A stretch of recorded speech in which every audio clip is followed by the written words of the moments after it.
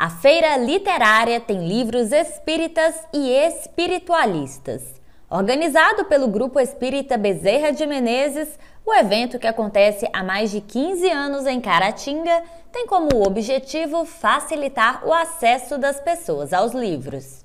É um preço bem acessível. O desconto que a gente ganha da editora, a gente repassou para cada, cada livro, tá?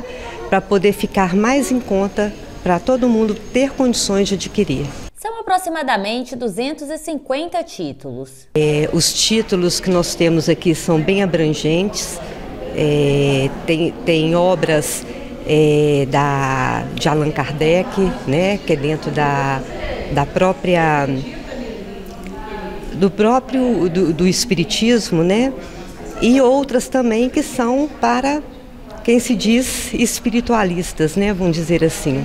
O Grupo Espírita Bezerra de Menezes também realiza importantes trabalhos sociais na cidade. A gente desenvolve um grupo de assistência também às, às famílias carentes do bairro aonde está localizado, né?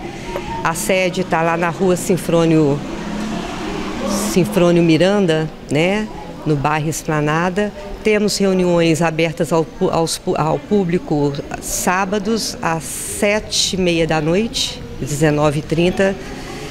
Né? Temos tratamentos é, TDM, que é tratamento de depressão, às segunda-feiras, atendimentos nas quintas-feiras à tarde, atendimento às mães e escola dominical aos sábados, né?